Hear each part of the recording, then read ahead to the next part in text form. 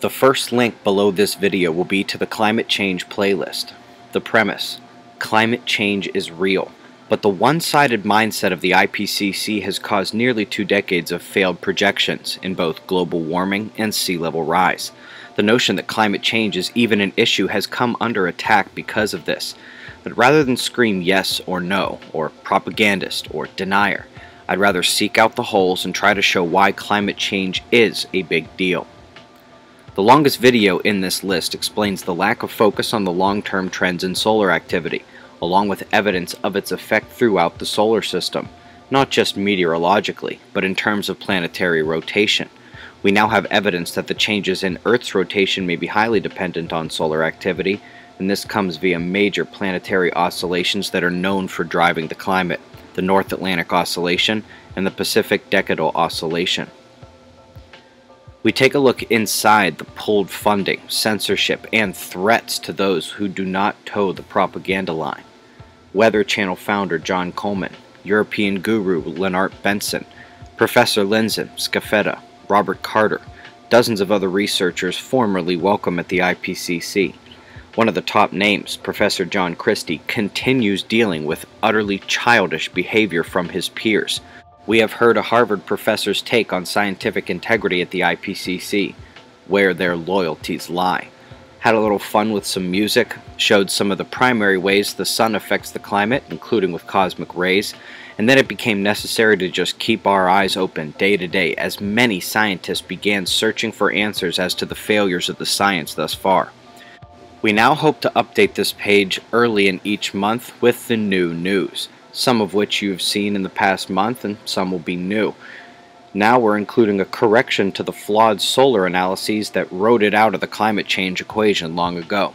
This one doesn't officially come out for months actually, and builds on some of the explorations into the flawed global climate modeling, the main source of the failures thus far. In this new study, we find that much of the premise behind the solar non-factor conclusion were based on averaging and some pretty bad assumptions. We've discussed how the highest solar activity decades were during global warming, and how the warming failure occurred as the sun began to go silent. Even speculated about the likelihood of a weaker period for our sun on the horizon, with increased cosmic rays leading to more clouds, higher albedo, and a cooler climate. Turns out that the experts are now predicting exactly that, at least for the coming cycle. All signs point to another extremely weak minimum, cosmic ray surges and all. We've already seen the patterns continuing throughout this solar maximum, which has been more of a solar moderate by all accounts. This shutdown may be on our very doorstep. The Arctic sea ice continued its summer decline, well below average in the satellite time, but well above the record lows set a couple years ago. Meanwhile, the Antarctic ice is definitively at record highs. If you are new to this and only heard about the rapid melting of the western sheet on the news, see July's climate update for a full explanation. Despite desperate cries of error from some of the most prominent global warming advocates, the NSIDC, NASA, and NOAA stand by the record high Antarctic ice, which holds true for every time of year by comparison. After a fairly warm start to July, the remainder was shockingly cold throughout an enormous portion of the United States. While areas of the West remained hot, more than half the country experienced record or near record lows. We took a look at the actual records broken Heat comes in third place behind precipitation and the cold records. That's on both the daily and monthly scale and goes back more than a year now. It's not just the United States feeling this climate extreme situation, and that does include both hot and cold, drought and flood. Europe has watched a sliver of extreme heat surrounded by large swaths of below average record cold for this time of year.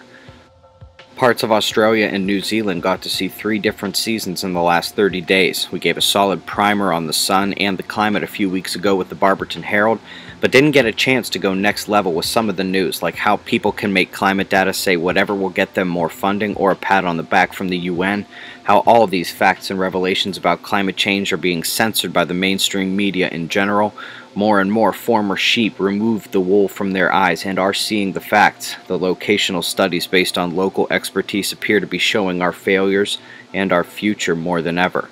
Humans are a problem, and then we started polluting. But when it comes to the climate, our failures, and our future, grab a jacket and keep your eyes on the sun. Be safe, everyone.